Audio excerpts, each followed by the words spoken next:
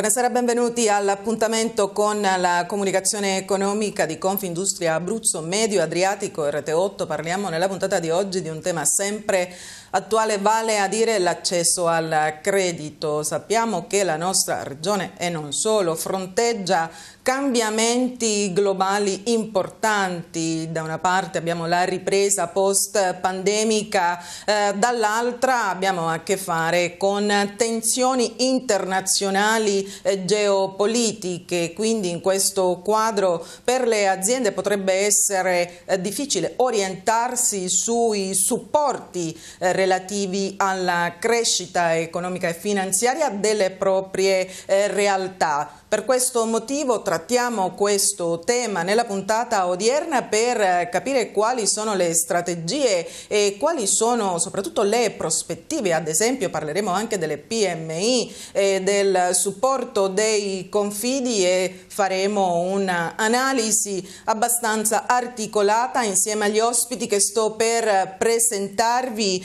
e quindi saluto qui in studio Maria Lilia Toschi che è specialista questa analisi garantiamonoi.it. Buonasera. Buonasera a voi. Andiamo in collegamento per salutare due ospiti. Partiamo da uh, Giovanni Giuseppe Ortolani, che è direttore della filiale regionale eh, dell'Aquila, Banca d'Italia. Buonasera. Buonasera a tutti. E ancora Leonardo Corsi, direttore commerciale di Fidimpresa Italia. Buonasera anche da parte mia. Bene, questi sono i nostri ospiti e quindi entriamo nel vivo della nostra trasmissione ponendo la prima domanda al direttore Ortolani per capire come queste tensioni internazionali, sappiamo che c'è il conflitto in Ucraina, poi abbiamo anche la situazione in Medio Oriente, abbiamo un mondo che è cambiato a ritmi abbastanza sorprendenti in tutto questo questo il discorso del credito per le aziende rappresenta un fattore da analizzare con attenzione. Quindi chiediamo a lei, direttore, di fornirci un quadro per quanto concerne la nostra regione. Prego. Innanzitutto permettetemi di ringraziare per questa opportunità di condividere e discutere insieme le evidenze dell'analisi della Banca d'Italia sull'economia regionale. In base alle nostre evidenze e dati ufficiali più aggiornati, l'economia dell'Abruzzo ha mostrato notevole resilienza, qualità sempre più cruciale, di fronte alle sfide globali impegnative di questi anni difficili. Nel primo semestre del 2023 abbiamo registrato una crescita in regione dell'attività produttiva dell'1,2%, che è un dato perfettamente in linea con quello del contesto nazionale, sebbene la crescita sia più moderata rispetto ai periodi precedenti. Questo incremento è stato sostenuto in parte dalla ripresa nel settore automotive e da una significativa espansione delle vendite all'estero. Nei primi nove mesi del 2023 infatti le esportazioni abruzzesi sono cresciute di ben il 14% a fronte di un incremento modesto in Italia di solo l'1%. Però nonostante questi segnali positivi alcuni settori come le costruzioni in cui sono diminuiti gli effetti degli incentivi governativi mostrano una crescita più contenuta. I consumi delle famiglie poi risentono della riduzione del potere d'acquisto dovuto all'inflazione, i flussi turistici hanno continuato a crescere anche se a ritmi inferiori. Nel mercato del lavoro prosegue il miglioramento in atto da tempo con un aumento dell'occupazione e della partecipazione al mercato del lavoro, in particolare per la componente femminile. Riguardo ai prezzi, come, come, sappiamo tema assai centrale in questi anni, i dati Istat di gennaio 2024 indicano per la Regione un tasso di inflazione tendenziale in netta decelerazione, prossimo allo zero addirittura in Abruzzo, inferiore al pur moderato più 0,8% nazionale. Sul fronte del credito, che è l'altro tema di questa puntata, abbiamo assistito a una contrazione nei prestiti alle imprese. Certamente questa è una conseguenza dell'aumento dei tassi di interesse e di una maggiore selettività da parte delle banche nella concessione dei finanziamenti. È anche però direi una fisiologica riduzione della domanda dopo la forte espansione dei crediti garantiti dallo Stato verificatasi nel post pandemia. È importante poi sottolineare che la qualità del credito rimane stabile grazie a una bassa incidenza dei prestiti in sofferenza, che è anche indicativo, anche questa è una buona notizia, di una certa solidità della situazione delle imprese. I prestiti alle famiglie hanno continuato a crescere nella componente del cosiddetto credito al consumo, per intenderci quello per finanziare acquisti di elettrodomestici, automobili, viaggi, spese mediche, eccetera, mentre le erogazioni di mutui immobiliari si sono fortemente ridotte, risentendo della fase di rialzo dei tassi di interesse. Questi elementi, come vedete, tracciano un quadro economico e finanziario assai variegato, composito e complesso. Le opportunità di crescita si affiancano a sfide molto significative. È importante monitorare attentamente questi trend, come cerchiamo di fare noi in Banca d'Italia, per supportare la resilienza e lo sviluppo dell'economia regionale. Grazie. Eh, bene direttore, ho sottolineato due eh, parole chiave del suo intervento, ha fatto un quadro ehm, abbastanza chiaro, anzi molto chiaro e esaustivo eh, di quella che è la situazione, ha parlato di resilienza, ha parlato oh, di eh, opportunità e quindi di ridimensionamento comunque sia eh, di una situazione che eh, poteva sembrare eh, con prospettive dal punto di vista della reattività un po' diverse. Annuiva qui in studio eh, la dottoressa Toschi e quindi vorrei capire dal suo punto di vista eh, qual è la situazione, qual è eh, l'operato di garantiamonoi.it che ricordiamo è una società promossa da Confesercenti Regionale Abruzzo e Confindustria Abruzzo Medio Adriatico, si occupa di crediti incentivi incentivi e agevolazioni per le imprese, contribuendo a garantire risorse finanziarie e sostenibilità per le aziende italiane. A lei Toschi. Grazie, ringrazio anche il, il direttore per la sua analisi così approfondita e puntuale. Garantiamonoi.it è una realtà giovane con un assetto organizzativo molto snello, in grado di rispondere alle esigenze delle imprese della MPMI eh, nei tempi giusti. Perché dico questo? Perché l'impresa oggi più che mai, soprattutto con gli esiti della pandemia, soprattutto con la difficoltà di accesso al credito, ha bisogno di risposte puntuali, precise, circostanziate, date nei tempi giusti, in modo da ottenere nel più breve tempo possibile un esito ad un'esigenza. Garantiamo noi assolve proprio a questo ruolo. È stata in grado negli anni eh, di ehm, costruire delle relazioni con diversi partner, ehm, cito tra tutti anche Fidimpresa che è qui con noi, ehm, con altre realtà eh, nazionali e locali, eh, con una serie di ehm, interlocutori in grado di trovare la soluzione più adatta per le esigenze dell'impresa. Ogni impresa ha un suo bagaglio, mm, c'è l'impresa in fase di start-up, quindi in fase di avvio, che ha delle esigenze molto specifiche, molto peculiari.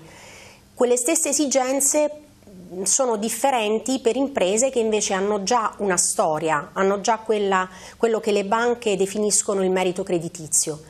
Ecco, il nostro ruolo è quello di mh, declinare al meglio gli strumenti finanziari a nostra disposizione, che spaziano dalla garanzia consortile, mh, direttamente quella del Fondo Centrale, eh, alla consulenza intesa nel senso più ampio e variegato del termine, alla finanza agevolata e quindi a tutte le misure che oggi siamo in grado di eh, proporre alle imprese sia per quanto riguarda misure nazionali che misure locali. Ecco, tutte queste attività rappresentano il bagaglio di azione di Garantiamo Noi. Noi siamo presenti sul territorio in tutte le sedi di Confindustria e di Confesercenti E abbiamo delle persone, dei professionisti che eh, attuano un percorso di formazione costante in grado proprio di essere mh, pronti a rispondere alle esigenze delle imprese, soprattutto stando al passo con i tempi.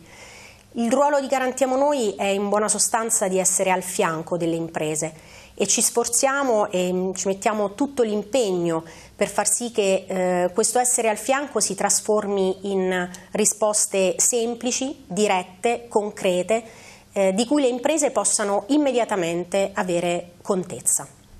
Questa è una informazione molto uh, apprezzata e mentre lei, Toschi, parlava abbiamo visto scorrere eh, le immagini relative al sito al quale fare eh, riferimento. Toschi ha fatto anche ehm, riferimento al, a Fidimpresa e quindi ciò mi dà la certo. possibilità eh, di eh, andare in collegamento per parlare con il direttore Corsi che ci spiegherà eh, una cosa un po' più tecnica e quindi è un momento questo della nostra trasmissione delicato e importante per approfondire ancora l'argomento eh, per capire eh, come eh, appunto oh, concepisce eh, questa realtà alla luce della riforma del fondo di garanzia delle PMI contenuta nella legge 191 del 15 eh, dicembre del 2023. Ci spieghi, ci spieghi meglio di che cosa parliamo.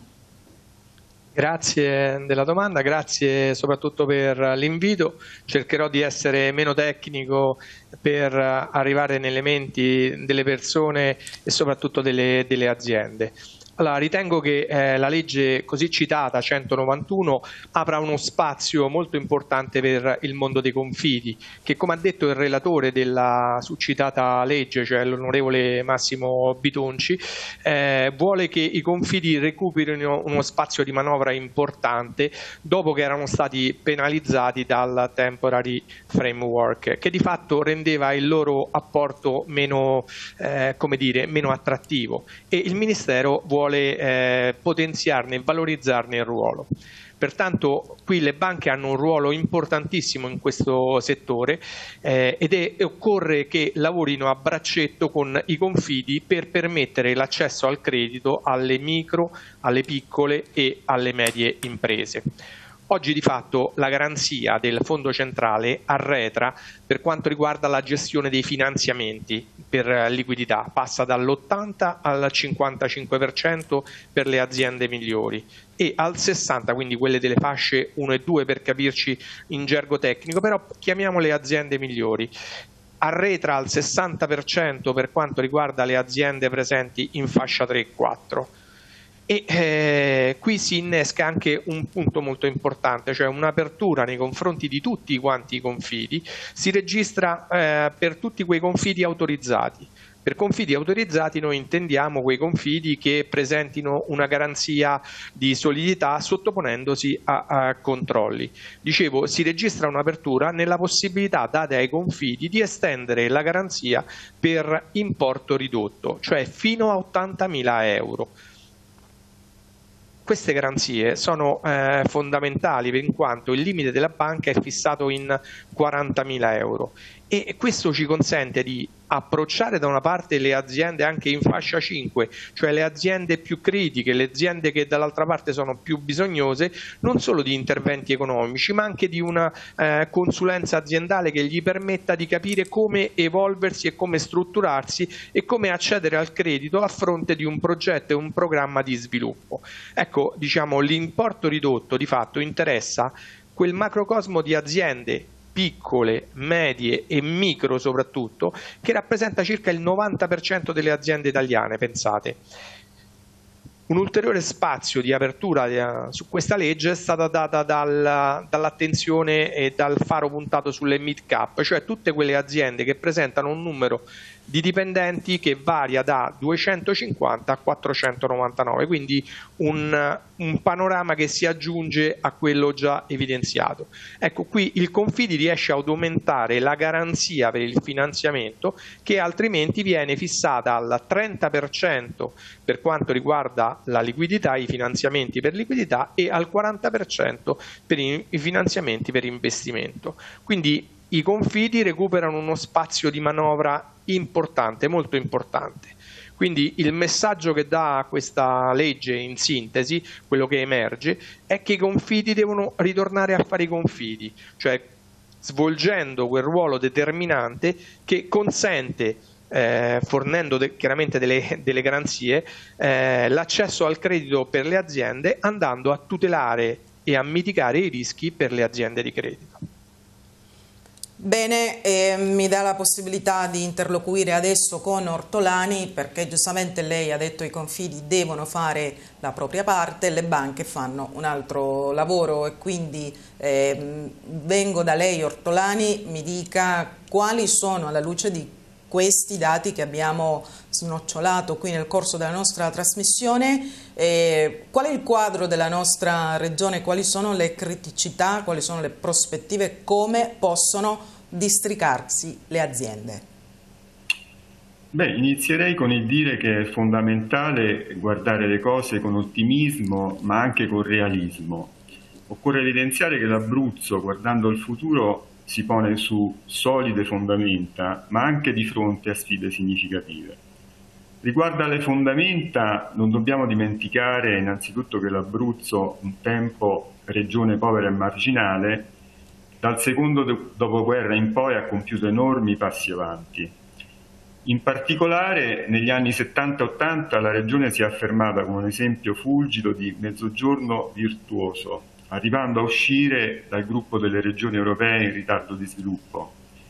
Dagli anni 90 ha visto purtroppo però arrestarsi eh, questo processo di convergenza economica con le aree più avanzate del Paese. Ma dopo questi accenni storici parliamo ora dei punti di forza dell'Abruzzo. Tra questi spicca certamente il settore manifatturiero, supportato da imprese multinazionali soprattutto nell'automotive, ma non solo, nel metalmeccanico, la meccanica, nel chimico farmaceutico, nell'elettronica. Tra i comparti in cui operano principalmente aziende a carattere locale è poi cresciuta nell'ultimo decennio la proiezione estera dell'agroalimentare e si vede anche una certa ripresa del tessile. C'è poi un tessuto di piccole e medie imprese di cui in parte hanno parlato gli altri relatori eh, intervenuti in questa trasmissione che in molti casi coltiva, coltivano relazioni con le imprese grandi realizzando significative sinergie, il cosiddetto indotto. Questo solido tessuto industriale è supportato poi, questo mi sembra un punto assolutamente fondamentale, da un elevato livello di scolarizzazione e istruzione, della, della, cittadinanza regionale e sappiamo come il capitale umano sia oggi e lo sarà ancora di più in futuro una risorsa strategica. Vorrei segnalare a questo riguardo un dato molto incoraggiante che forse non è a tutti noto, cioè che la quota dei giovani con istruzione universitaria è superiore in Abruzzo rispetto al dato nazionale. Inoltre, altro aspetto positivo, si registra una buona partecipazione al mercato del lavoro, anche in questo caso lievemente superiore alla media del Paese. L'Abruzzo si distingue poi per eh, infrastrutture di trasporto di buon livello, benché con discrepanze tra costa e entroterra, principalmente per la scarsa presenza nelle aree interne di servizi ferroviari ad alta velocità, la Regione poi brilla anche in termini di infrastrutture sociali come ospedali e gestioni dei rifiuti, oltrepassando gli standard nazionali. Sul fronte delle energie rinnovabili, altro tema caldo, in Abruzzo è in forte crescita la produzione e il consumo di energia verde. Ma veniamo alla sfida. La Regione affronta sfide importanti. Una di queste è il divario nella digitalizzazione e negli investimenti in ricerca e sviluppo, che sono ancora inferiori alla media nazionale. C'è però una luce in questo ambito. Nel contesto del PNRR, l'Abruzzo beneficia di oltre 3 miliardi di euro assegnati. Questo è un dato che noi siamo riusciti uh, ad avere, fermo però ad ottobre 2023, che corrisponde, questi 3 miliardi corrispondono a circa 3 mila euro pro capite, molto superiori al dato medio nazionale di circa 2 mila euro. e questo rappresenta naturalmente un'opportunità unica per stimolare la crescita sostenibile. E vengo a concludere, per navigare con successo nelle acque dell'incertezza globale è necessario sfruttare al meglio i punti di forza della regione e affrontare con decisione le vulnerabilità con politiche mirate e investimenti strategici. Il PNRR, credo valga la pena sottolinearlo ancora, offre una straordinaria occasione che non dobbiamo assolutamente perdere per rafforzare l'economia dell'Abruzzo, stimolare l'innovazione e costruire un futuro prospero e inclusivo per tutti i cittadini dell'Abruzzo. Grazie.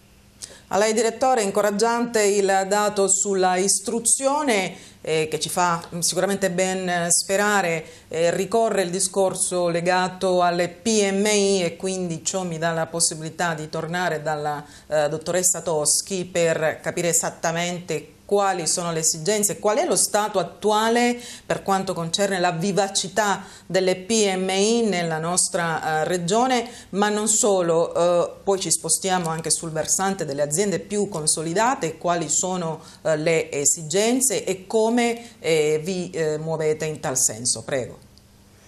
Grazie. Allora, come diceva poc'anzi il direttore, eh, la nostra è una regione molto ampia, si estende dal mare all'entroterra e conosce delle realtà aziendali molto molto diverse. Questo ci impone di non uniformare completamente ciò che garantiamo noi riesce a dare, ad offrire alle imprese e anzi ci impone di ehm, essere sempre più puntuali nelle analisi che noi svolgiamo. Ehm, Abbiamo ogni giorno eh, contatti con imprese eh, che ci chiedono aiuto, supporto, sostegno, ci chiedono di essere accompagnate nelle scelte finanziarie e nel percorso legato all'accesso al credito. Però ogni impresa ha eh, una sua mh, specificità, proprio perché molto dipende dal territorio in cui l'impresa andrà ad operare o opera già se si tratta di un'impresa eh, già esistente. Quindi come garantiamo noi eh, riusciamo a proporre, a dare delle risposte ehm, che spaziano dalla consulenza, mh, faccio un esempio per quanto riguarda i bandi e la finanza agevolata, ehm, siamo in grado di rispondere eh, passando da Resto al Sud, ad esempio, una delle misure eh, che ha avuto maggior successo nella nostra regione, ma che riguarda prevalentemente le zone mh, sulla costa o comunque appena nell'entroterra.